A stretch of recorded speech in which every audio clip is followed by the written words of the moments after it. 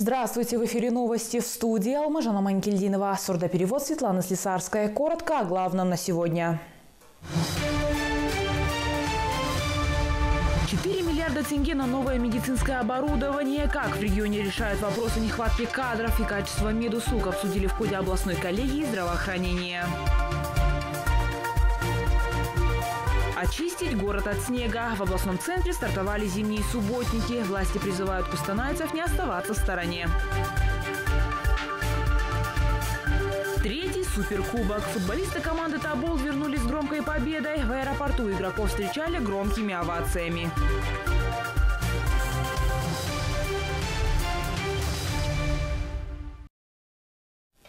Под председательством Касмажамарта Токаева состоялось очередное заседание Совета безопасности.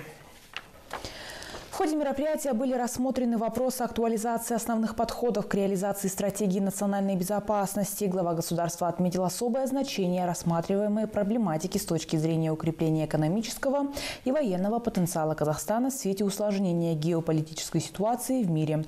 Президент подчеркнул необходимость объективного анализа ключевых вызовов и угроз национальной безопасности в современных условиях, а также выработки мер по их предупреждению. Глава государства отметил, что вопросы безопасности безопасности граждан и государства в целом должны постоянно находиться в фокусе внимания правительства и всех ведомств в качестве приоритетного направления их деятельности. По итогам заседания Советом безопасности приняты решения, направленные на повышение эффективности системы защиты национальных интересов и управления рисками национальной безопасности. Ход реализации национального проекта «Модернизация сельского здравоохранения» рассмотрен на заседании правительства под председательством премьер-министра Олжаса Бектенова. Министр здравоохранения Акмарал Аль-Назарова отметила, что нацпроект предусматривает строительство 655 новых объектов первичной медико-санитарной помощи, модернизацию 32 многопрофильных центральных районных больниц, а также подготовку 1100 медработников для объектов сельского здравоохранения.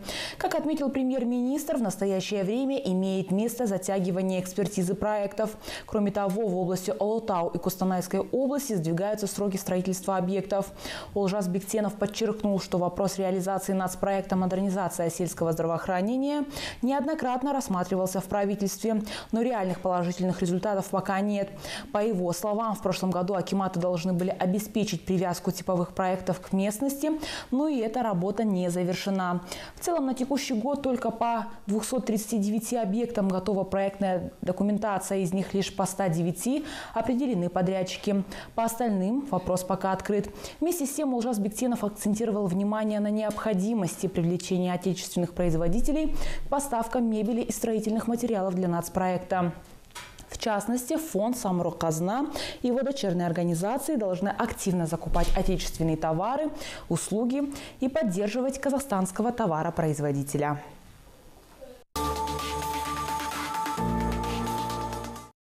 Привлекать специалистов, избавиться от кредиторской задолженности и не забывать о врачебной этике. В Кустанае состоялась областная коллегия здравоохранения. На совещании подвели итоги работы медицинской службы. Пригласили на разговор руководителей больниц и поликлиник, врачей и ветеранов сферы здравоохранения. Подробнее расскажем в следующем материале. Коллегия здравоохранения собрала руководителей и сотрудников всех медицинских организаций региона, а также ветеранов этого дела. Руководитель управления докладывает об итогах прошедшего года. Бюджет сферы составил почти 106 миллиардов тенге. Но при этом медорганизации по-прежнему испытывают трудности. Ежегодно растет показатель кредиторской задолженности. На сегодняшний день она есть в пяти организациях на общую сумму чуть больше миллиарда тенге. Ситуацию необходимо исправлять. В прошлом году задолженность была в 28 организациях. 3,6 миллиарда тенге. В текущем году э, задолженность в 16 организациях. 3,5 миллиарда. То есть 12 медорганизаций закрыли задолженность. И вот сейчас выступал, э, так Бейбет Марин тоже сократили. Арголык приводили пример, что сократили за последние пять лет кредиторская задолженность увеличилась в пять раз. В пять раз. Ну, я понимаю причины, знаю досконально эту тему, но вместе с тем наверняка можно предпринимать э, и проводить соответствующую работу по снижению кредиторской задолженности. Это надо управлять этим процессом.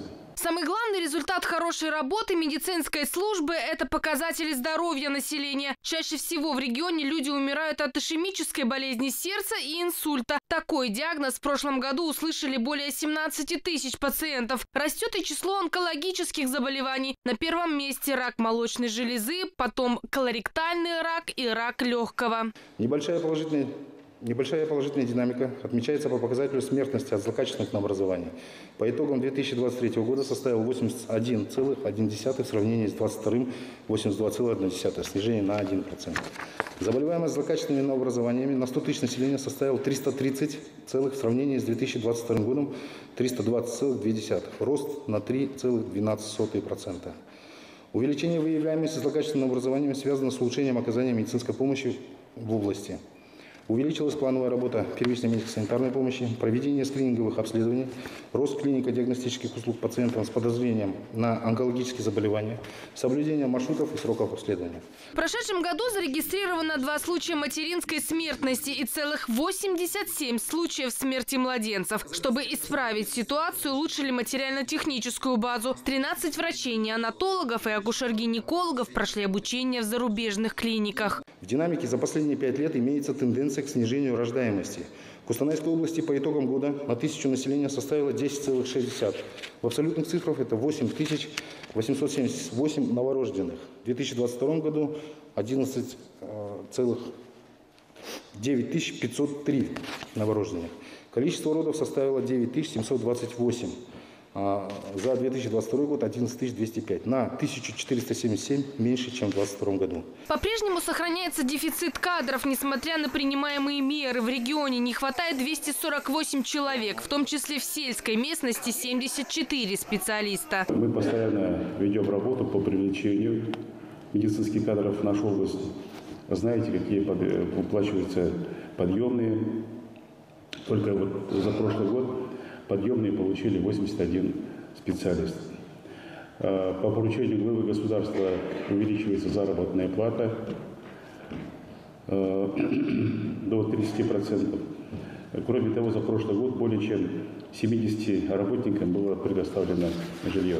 Особое внимание глава области уделил жалобам, которые поступают от населения. Чаще всего люди недовольны работой станции скорой помощи и Кустанайской городской больницы. Долгое ожидание, отказ в госпитализации, отсутствие медикаментов, а еще несоблюдение норм этики. Решать эти вопросы не должны на уровне служб поддержки пациентов при больницах. Но, как оказалось, работают они формально. Мы понимаем, что не всегда врачи виноваты во всем, понятно.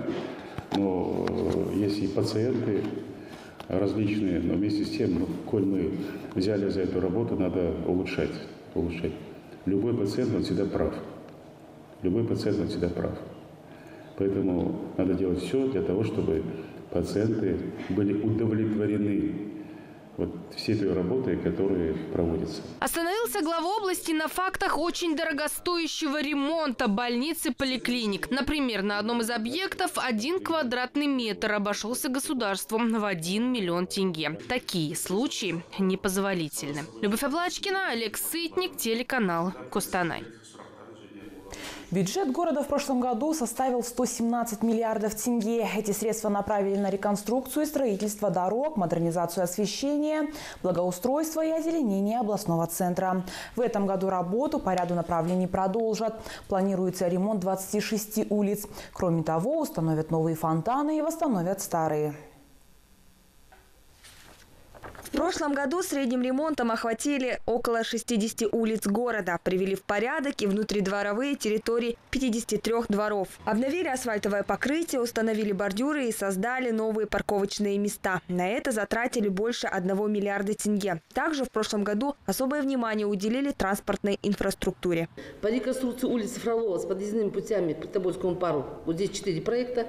Протяженность 2,2 километра с организацией автопарковочных мест на 208 Исполнение составляет 874 миллиона тенге. По реконструкции подъездных подъездной дороги к международному аэропорту Кустанай с северо-западной части города протяженность 1,1 километр освоена 839 миллионов тенге. Новая дорога позволит соединить микрорайон Юбилейный, Береке, Алтын-Арма, Кустанай-2 с микрорайоном Аэропорт. Большую работу в прошлом году провели по благоустройству города. Произведена реконструкция центрального сквера и двух памятников. На более чем 50 многоэтажках установлено декоративное освещение. Плюс ко всему отремонтировано 6 стационарных фонтана. Эту работу продолжат и в этом году. В 2024 году запланировано отремонтировать фонтанов на 281 миллион тенге, установить плавучий фонтан на реке Тобол на 27 миллионов тенге. Проведена работа по благоустройству 30 дворовых площадок, из них 18 детско, детско-игровых спортивных площадок на общую сумму 273 миллиона тенге. 14 дворов, дворов площадок в рамках программы «Бюджет народного участия» на сумму 256,8 миллионов тенге. Бюджетный план отдела ЖКХ выполнен на 99%, отмечают специалисты. Неосвоенными остались более 350 миллионов тенге. В сфере строительства остаток составил порядка 400 миллионов. По словам Акима города, эти средства будут освоены в этом году. Самое главное, цель какова? Чтобы эти объекты мы ввели. Соответственно, мы их введем Этих средства у нас никто забирать не будет. Да, мы не, их не смогли в прошлом году. Там причины уже называли, не освоить, но мы их в этом году освоим, и они будут работать на город. Но хочу сказать еще раз, в этом году планы такие. Э, реконструкция набережной Шагала, продолжение, там получается 750 э, метров до, э, до пляжа, до, до триатлона. Мы в этом году планируем это сделать. И потом триатлон у нас, там два проекта, три проекта вернее. Завершаем мы э, ремонт, не ремонт, а строительство э, парковой зоны, как раз это согласно проекту. Вот там будет пирсы завершены до конца, Э, дорожки до конца, площадки спортивные, детские. В этом году на ремонт 26 улиц областного центра выделено более 1 миллиарда тенге. Также начато строительство физкультурно-оздоровительного комплекса в микрорайоне Юбилейный. Марат Джундубаев также отметил, что в этом году выделены средства на разработку проекта-сметной документации общегородского открытого футбольного стадиона. Айдана Папанина, Родион Бабич, телеканал Костанай. В областном центре идет массовая уборка снега. Таким образом, в областном центре стараются предотвратить паводок. До наступления весны остаются считанные дни, поэтому к данной акции необходимо присоединиться всем. Наши корреспонденты тоже участвуют в субботнике. Как идет уборка?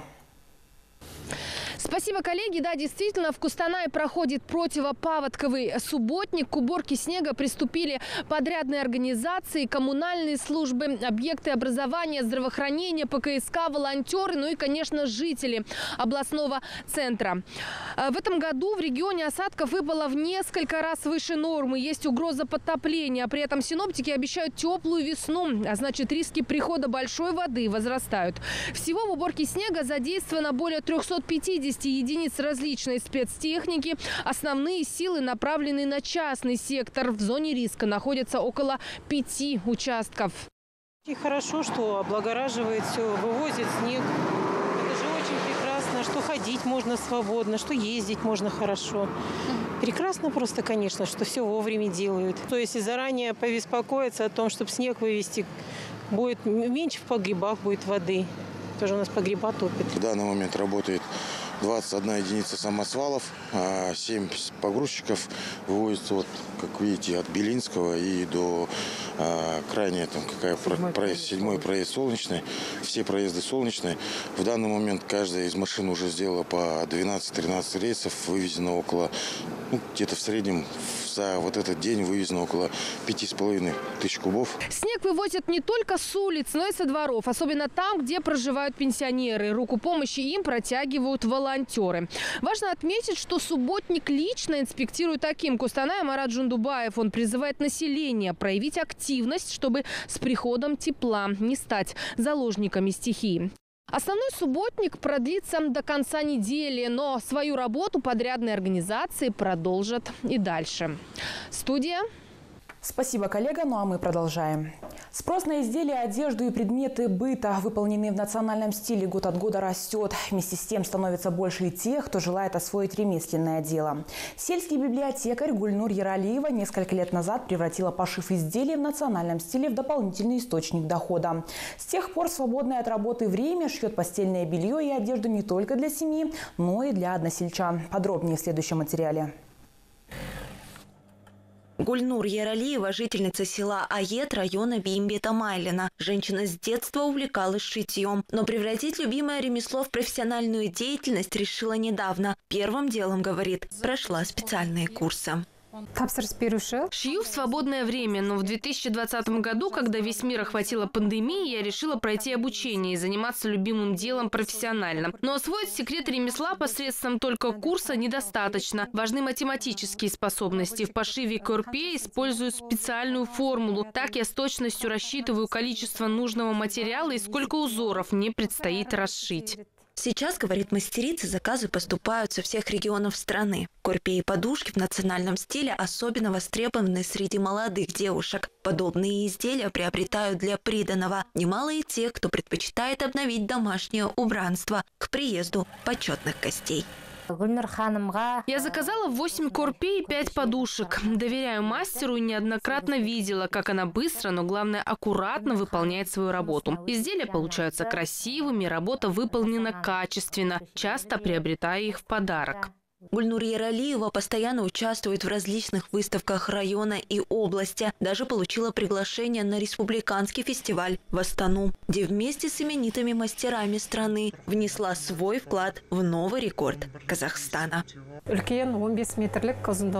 Мы смогли достичь поставленной цели, сшили 15-метровый флаг и попали в книгу рекордов Гиннесса. Я очень рада, что стала частью данного события. Мы приобрели огромный опыт. Каждому вручили памятный куб кубки и благодарственные письма.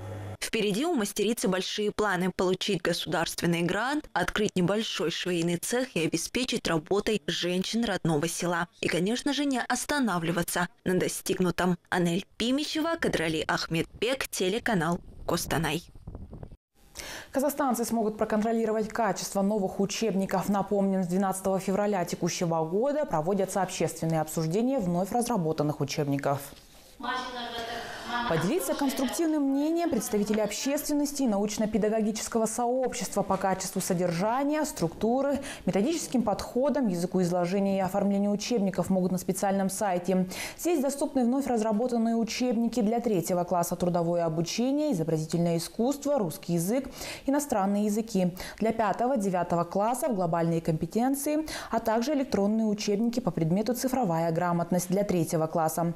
Возможность принять участие в общественном обсуждении обсуждений есть у представителей научно-педагогического сообщества, методистов, ученых, а также неравнодушных к качеству учебников казахстанцев. Ведомстве напомнили, что республиканская научно-практическим центром экспертизы содержания образования Министерства просвещения Республики Казахстан разработана специальная платформа для выбора уч учебников. Она предоставит возможность педагогам выбирать школьные учебники. Суперкубок наш. Обладатель Кубка Казахстана 2023 года Костанайский Тобол в минувшие выходные сразился в матче за Суперкубок страны, в котором обыграл действующего чемпиона республики Шимкенский Ордабасы. Нынешний Суперкубок был историческим, поскольку впервые проходил за пределами Казахстана. Ордабасы и Тобол сошлись на стадионе «Титаник Мардан» в турецкой Анталии. Помимо первого официального трофея нового сезона казахстанской премьер-лиги, Тобол заработал в этом матче 25 миллионов тенге призовых. С победителями встретилась Маргарита Иванова. В Кустанайском аэропорту сегодня шумно и многолюдно. И хотя рейсы запланированы самые обычные, зато пассажиры в них крайне примечательные. А примечательны они своими громкими спортивными победами. Несколько секунд назад приземлился самолет с обладателями Суперкубка Казахстана по футболу. Вот уже несколько дней все разговоры о них, народных любимцах, которые подарили такой фейерверк эмоций всем любителям футбола. Матч за Суперкубок, где выходила ответственная. Первый тайм проходил достаточно ровно и без особой опасности. Даже полумоментов команды не создавали. Тем не менее, в компенсированное время угловой Асхата Дагабергена превратился в гол скидкой на дальнюю штангу. Воспользовался Евгений Макаренко, поразивший цель ударом в упор. На старте второй половины активнее был Табул, который сумел в итоге добиться своего. После углового Иван Миладинович со второй попытки переправил мяч в сетку. Основное время команды закончили со счетом 1-1, и игра перешла в серию пенальти, где сильнее были кустанайцы 5-4. Суперкубок Казахстана впервые в истории казахстанского футбола был международный э, масштаб в этом году. И, конечно, мы, э, нам очень было тяжело играть за пределами страны, но несмотря ни на что, мы всегда чувствовали поддержку наших болельщиков. Хоть даже вдали от дома мы чувствовали их просто сумасшедшую поддержку. Это в первую очередь это победа от именно наших болельщиков. Победа руководства области, победа наших спонсоров, наших партнеров, всех тех, кто нас поддерживает. Это супер, это классно. Э, на сегодняшний день, э, как я сейчас вот отметил, футбольный клуб «Тобол» э, является брендом не только Костанайской области, но и брендом Казахстана. Почему? Потому что вся Турция говорит про Тобол, про победу Тобола, про этот захватывающий матч. И я думаю, что это придаст, именно эта победа нашего клуба придаст дополнительный импульс развитию футбола в Казахстане, развитию здорового образа жизни. А, и я думаю, что а, большие победы еще впереди. Чурчич для кустанайской команды не новичок. В прошлом году он уже занимал должность главного тренера команды. Проработав в клубе сезон, специалист уже успел привыкнуть к менталитету и обычаям здешнего футбола. Теперь ему вновь доверили встать у руля команды. Осознавая груз ответственности перед болельщиками клуба, в неспешной беседе с нашей съемочной группой тренер обещает не подкачать. Очень важная победа, потому что начинается чемпионат и победа за город, за область города, за болельщики Тобола. И, конечно, нам важно на психологическом плане, потому что начинается чемпионат, новый сезон, новая команда. Будет интересно, много хороших э, команд есть. Я думаю, что будет очень интересный чемпионат. Э, и нам нужно работать много, много, много, потому что новую команду создаем. Слава Богу, выиграли и суперкубок, и надеюсь, что наши болельщики будут довольны, будем показать хороший футбол, будем стараться. Чувствуем очень серьезную ответственность, потому что, особенно, что э, нам нужно сделать шаг вперед, и чтобы были лучше, чем в прошлом году. Поэтому э, я думаю, что хорошее начало сейчас уже суперкубок выиграли. Э, Ответственность есть тоже, потому что много команд поменяли. Э, новая команда создается и интересная команда, очень интересная, много качественных футболистов, хороших футболистов, которые играли в Европе. Но все разные, все разные, и как люди, и как э, спортсмены. Но хорошая атмосфера и так должно быть Позитивная энергия. Табул в третий раз в истории выиграл Суперкубок Казахстана по футболу. Все эти титулы команда завоевала за четыре последних сезона. Футболисты, комментируя исход матча, отметят, что посвящают эту победу болельщикам. Мы очень счастливы, то, что у нас э, получилось выиграть Суперкубок. Это, как все мы уже говорили, постоянно было два финала. Но я думаю, самый важный финал мы выиграли, забрали. Вот. И посвящаем всем болельщикам, нашим всему городу э, в преддверии нашего чемпионата. Пусть это будет такой заряд эмоций, энергии от нашей команды. Болельщики, в свою очередь, тоже не скупятся на эмоции. Они готовы неустанно скандировать в адрес народных любимцев простую, но очень емкую фразу. Это город желто-зеленый! Это город желто-зеленый!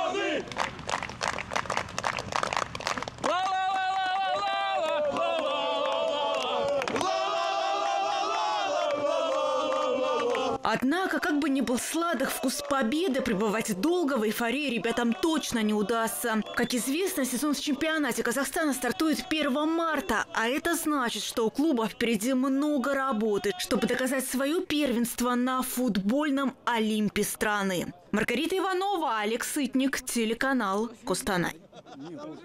На этом все. До встречи.